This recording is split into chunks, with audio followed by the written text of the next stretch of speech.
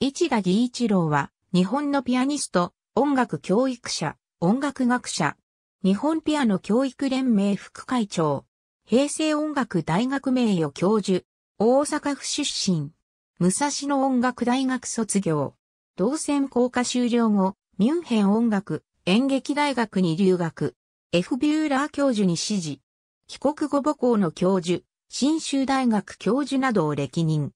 J.S. バッハの平均律、シューベルトのピアノソナタ全集など、古典的作品の校訂で知られる。特にハワード・ファーガソンの日本への紹介に力を入れている。演奏技法に関しては、バッハ平均律クラビーア、解釈と演奏法。1.2、バッハインベンションとシンフォニーア、解釈と演奏法、ピアノ伴奏の基本と奏法の著書がある。日本画家、吉川玲香の検証に努めた。1959年頃たまたま神田古書店街で見かけた玲香の書簡を見かけ、その力強さと切れ味の良い線に心をつかまれたという。一田は関係者を回り、当時の文献には出てこなかった貴重な情報を収集している。